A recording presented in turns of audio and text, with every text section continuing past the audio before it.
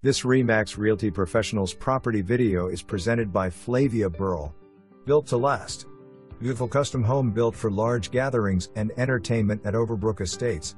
Following its traditional style, the home features a brick fade, a sunny two-story foyer that floods natural light into its formal dining room, which is crowned by a tray ceiling and custom columns.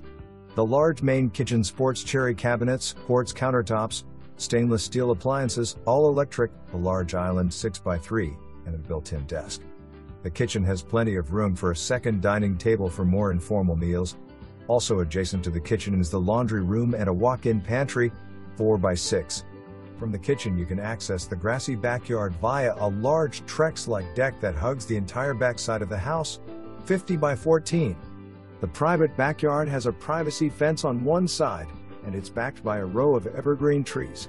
The home also boasts five bedrooms, including two large en-suites, one ensuite on the main floor with a jetted tub, double sinks, and separate shower area and another oversized ensuite on the upper floor, with double sinks, tile shower, and walk-in closet.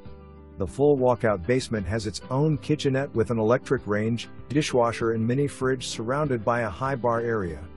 The main attraction of the basement is the media room with built-in speakers, projector, and a large movie screen. Adjacent to the media room is the rec room complete with a banquette nook and built-in cubbies.